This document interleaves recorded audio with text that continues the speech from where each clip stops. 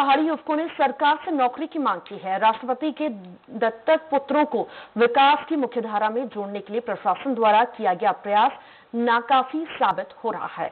पहाड़ी कोरवा युवकों को आर्थिक रूप से सक्षम बनाने के लिए वृत्य की नौकरी देने की प्रक्रिया शुरू की गई थी, जो अब तक पूरी नहीं हो सकी। नौकरी नहीं मिलने से परेशान पहाड़ी कोरवा युवा जिला मुख्यालय से साठ किलोमीटर दूर पैदल चलकर कलेक्टर पहुँचे और अधिकारियों को अपनी व्यथा सुनाई।